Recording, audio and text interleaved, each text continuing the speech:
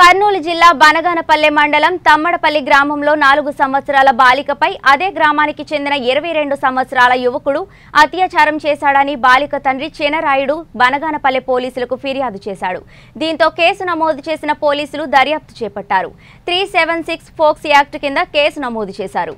తమడపల్లి గ్రామానికి చెందిన చిన్నరాయుడుకు ఇద్దరు కూతుర్లు. మొదటి కూతురు కీర్తన నాలుగు సంవత్సరాలు. తల్లిదండ్రులు కూలి పనికి వెళ్ళగా ఇంటి వద్ద ఆడుకుంటున్న బాలికను కాలనీకి చెందిన రుద్రేష్ అనే యువకుడు బాలికకు మాయమాటలు చెప్పి అత్యాచారం జరుపుతుండగా స్థానికులు అతడిని పట్టుకుని దేహశుద్ధి చేసి పోలీసులకు అప్పజెప్పారు. బాలిక తండ్రి చినరాయుడు బనగానపల్లె పోలీసులకు ఫిర్యాదు చేయడంతో బనగానపల్లె సీఐ సురేష్ కుమార్ రెడ్డి ఆధ్వర్యంలో కేసు నమోదు చేసి దర్యాప్తు చేస్తున్నారు.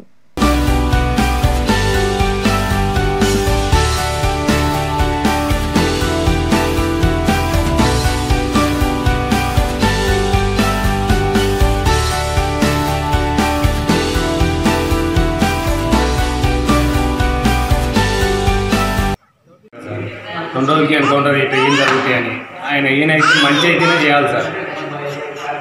సన్న బాబు సార్. అదే న్యాయం మాకు కూడా కావాలి సార్. మాకు. చేయకుండా ఈయన ఆయన మంచిగా చేయనన్నా తొలగిపోయి ఇక శుక్లమ్మ గుడి దగ్గర ఇటు చేసినారు సార్ గుడి కన్నీ. ఏం పేరు అని పేరు? Grace sir. ఎవరి మీద? తప్పకుండా సార్. చెప్పు.